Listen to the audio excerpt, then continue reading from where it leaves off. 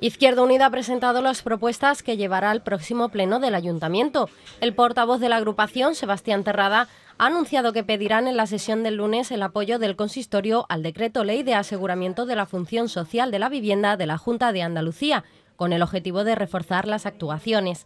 En clave de vivienda también se ha anunciado que el viernes se firmará el convenio entre el ayuntamiento y la delegación territorial sobre las viviendas de Matadero. Y nada, esperemos que, así sea, que mañana se firme el convenio. Y repito de nuevo que ajolá, ajolá estén las personas que, tengan que, estar en esa vivienda, la tengan ocupada con la mayor brevedad posible. Por otra parte, Izquierda Unida pedirá además que retire el pliego de condiciones del servicio de alumbrado, que según Izquierda Unida plantea la baja la adjudicación y no recoge al 100% de los trabajadores.